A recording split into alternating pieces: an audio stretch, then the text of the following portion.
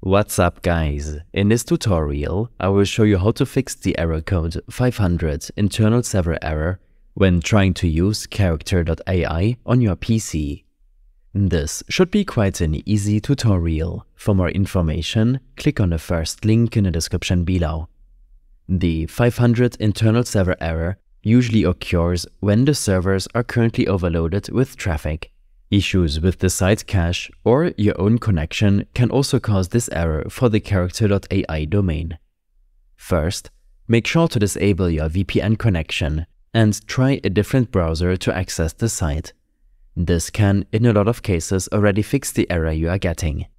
Alternatively, you can make use of a VPN to change your server connection and fix the error. In some cases, network restrictions can prevent you from accessing the site and causing the 500 internal server error you are getting. I will leave a link to our preferred VPN in the video description, which might allow you to access character.ai without getting the server error. If the problem persists, then I suggest clearing the site cache. For Chrome users, navigate to your browser settings by clicking the menu icon on the top right.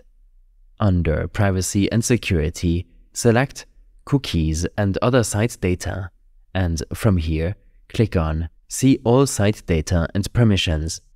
This will allow you to search for character.ai and delete the site data.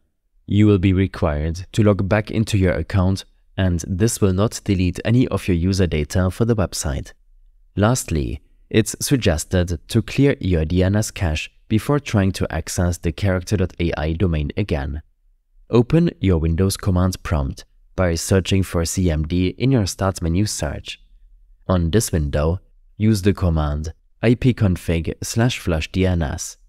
This will flush and reset the content of your DNS resolver cache and can potentially fix the character.ai server error. These steps and more information will be available in my extensive guide linked in the description below. I hope this helped you out. Leave a comment if you have any questions and see you in the next one.